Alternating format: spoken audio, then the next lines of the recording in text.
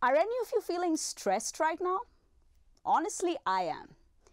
And the reason for me feeling stressed are all the other finalists of the three minute thesis contest, and of course, the cameras which are pointing at me. Did you ever imagine what animals go through when they are stressed? And what kind of stress they could be exposed to?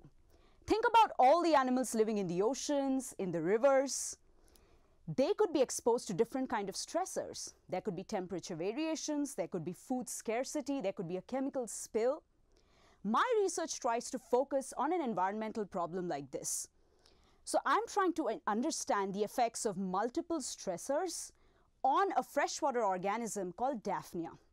And the multiple stressors are specifically the two stressors which I'm trying to study in one part of my research are these two environmentally relevant contaminants called atrazine and triclosan. Atrazine is a much debated pesticide, many of us are aware of it. And what is triclosan? It is found in our toothpaste. So what I initially did was I tried to expose my animals, the test animals, to these chemicals individually in order to understand at what concentrations these chemicals are toxic to these animals.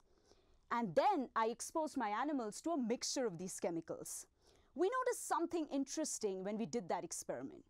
We saw that the animals started surviving better when they're exposed to these two contaminants together. Now, what is the reason? As a biologist, I was curious. And I performed further experiments and investigations into this. We found that atrazine, which is this pesticide, is inducing some antioxidant enzymes which are protective which are acting as protection to these animals from the toxicity of the other chemical, which is a contaminant, which is triclosan. So which was interesting.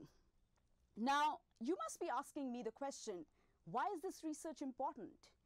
The truth is, a lot of research has already been done in order to understand the effect of individual chemicals, pollutants, or stressors in the environment but not a lot has been yet understood about the effect of these stressors as a mixture or together.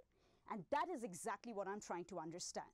Who could use any kind of research results like this is the next question. Environmental organizations, industries, regulatory agencies, all these kind of people could use research results of this nature in order to understand or solve environmental risk assessment problems. And I have a strong belief that my research could have a deep impact on solving larger global environmental problems. Thank you.